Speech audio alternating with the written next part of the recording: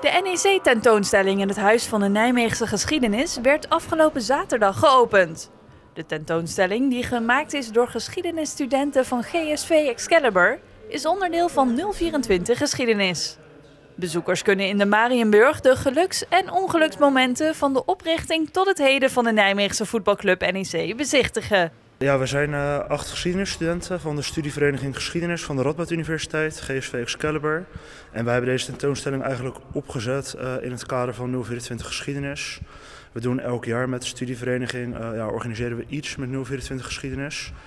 En dit jaar was het thema geluk. En dat hebben we door middel van deze tentoonstelling proberen te koppelen aan NEC. Ja, zeker zijn we blij met deze tentoonstelling.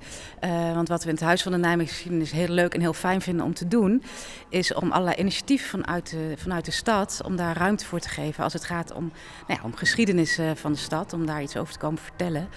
Uh, en om dat in samenwerking te doen met allerlei verschillende, nou, om maar oneerbiedig te noemen, clubs. En GSV Excalibur is daar eentje van.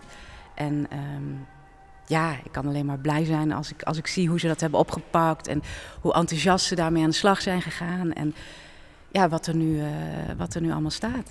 Dus je ziet hier een tentoonstelling met allerlei objecten. En er liggen ook objecten tussen die op het eerste oog misschien niet heel bijzonder zijn, maar waar toch een heel uh, ja, individueel geluksmoment bij zit. En we hebben bijvoorbeeld ook een geluksmuur opgenomen in de tentoonstelling, waar mensen zelf hun uh, ja, eigen NEC geluksmoment neer kunnen zetten. En daarbij gaat het natuurlijk ook om de collectieve geluksmomenten, zoals de wedstrijd tegen Barcelona, die worden belicht, um, de kampioenschappen, de eerste promotie, noem maar op. Dus het is eigenlijk een combinatie van collectief en individueel uh, geluksmomenten van NEC.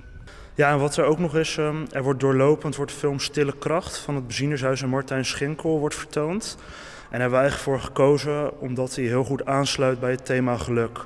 Zij volgen daarin een supporter die al, uh, ja, ik weet niet hoeveel jaar al, samen met zijn vader naar de wedstrijden gaat. En ze brengen eigenlijk heel mooi in beeld wat het NEC geluk voor die twee mensen is. Dus daarom hebben we daarvoor gekozen.